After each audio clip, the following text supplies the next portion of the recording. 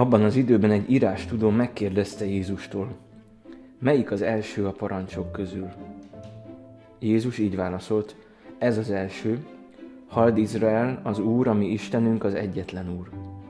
Szeresd Uradat, Istenedet teljes szívedből, teljes lelkedből, teljes elmédből és minden erődből. A második hasonló ehhez, szerest fele barátodat, mint önmagadat. Ezeknél nincs nagyobb parancsolat. Az írás tudó erre azt válaszolta, valóban jól mondtad, mester, hogy ő az egyetlen és hogy rajta kívül nincs más.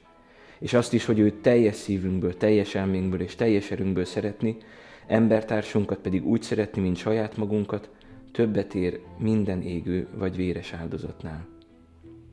Jézus az okos felelet hallatára megdicsérte.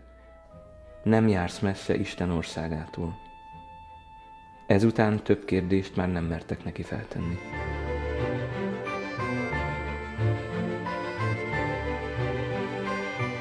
Amikor a főparancsot halljuk, azt kapjuk parancsba, hogy szeressük az Istent, és szeressük a másikat. De ha csak ezt parancsként látjuk, hogy szeressük az Istent, és szeressük a másikat, és nem foglalkozunk azzal, hogy mi minden van bennünk, ami ezt akadályozza, vagy ami ezt megnehezíti, akkor ez nem fog olyan könnyen menni, sőt, az is lehet, hogy lehetetlen lesz. Nagyon sok embernek az Istennel, vagy a másik emberrel való kapcsolatának a legnagyobb akadálya az, hogy saját magában vannak megoldatlan feszültségek, vannak emlékek talán, amik megnehezítik azt, hogy meg tudjunk bízni az Istenben. Vannak talán jogos csalódások vagy félelmek, ami miatt nehéz ez a bizalom. Ezért fontos talán az utolsó része annak a mondatnak, amit hallunk, hogy szeresd a másikat, mint magadat. Magadat szeretni.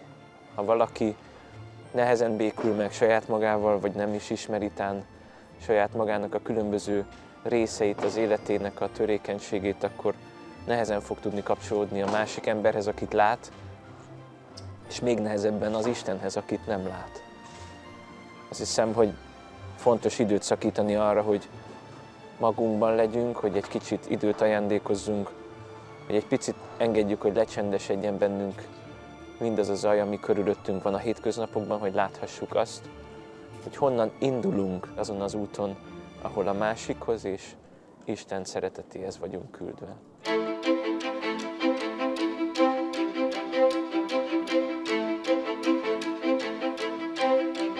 Szerest fele barátodat, mint önmagadat, ezt halljuk. Na de furcsa szó ez a fele barát. Félig barát. Sok modern nyelvben is ez a szó egyszerűen csak úgy van lefordítva, hogy a melletted lévő, a másik, aki közvetlenül éppen melletted van, az utcán, a villamoson vagy valahol.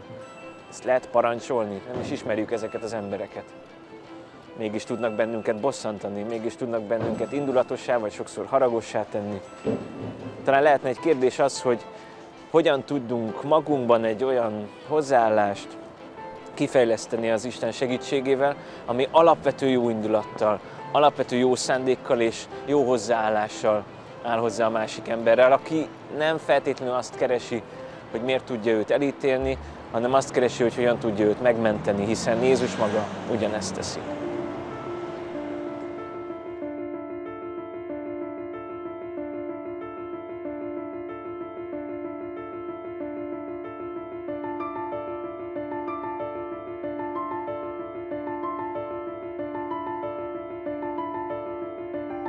Ennek a fő parancsnak az egyik pillére az, amikor az embertársainknak szolgálunk, akár csak egy belső nyitottsággal, vagy nagyon konkrét tettekkel, hogy az egyház ezt igyekszik tenni a karitatív szolgálataival is.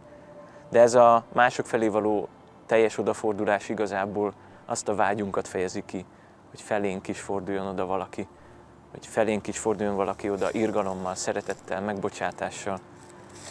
És itt jöttünk el az Isten szeretet parancsáig, ami őszinte viszont szeretetté akkor tud válni, hogyha igazából megismerjük azt, hogy szükségünk van arra, hogy valaki feltétel nélkül támogasson, szeressen bennünket. És ez a viszont szeretet lehet az, ami tulajdonképpen ennek a főparancsnak az első része, hogy viszonozzuk Istennek azt a szeretetét, amit csak elkezdünk megsejteni az életünkben akkor, hogyha őszintén fordulunk magunk és mások felé.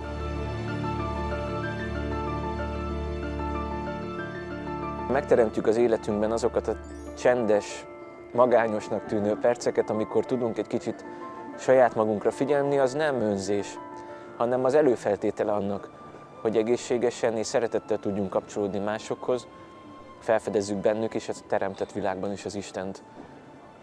Így lehet egyfajta imádság az is, hogyha csak magunk olvassuk az Úr szavát, hagyjuk, hogy hasson, és ezáltal növekedjen bennünk az evangélium.